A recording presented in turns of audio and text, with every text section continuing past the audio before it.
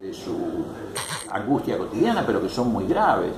Lo que está pasando, por ejemplo, en estas horas con el dólar.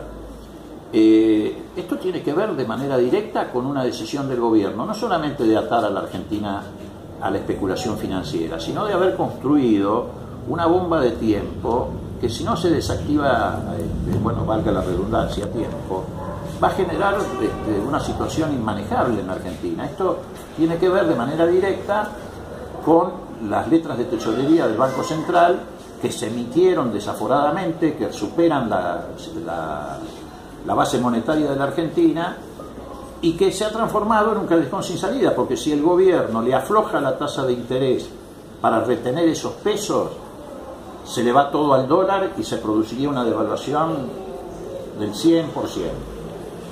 Y si mantiene la tasa de interés en este nivel, sigue enfriando la economía y sigue paralizando la inversión productiva. Bueno, ese, hay que tratar de desarmar esa bomba de tiempo antes que sea tarde.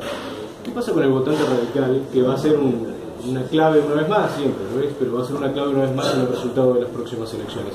¿Cómo intentan ustedes, fundamentalmente desde su espacio dentro de la Unidad Ciudadana, llegar a ese votante radical con un mensaje que le permita entender que eh, su voto de hace dos años estaba equivocado y que ahora tienen que acompañar un proceso al que no eh, acompañaron en, las elecciones de Sí, hay toda una fantasía respecto al votante radical, ¿no?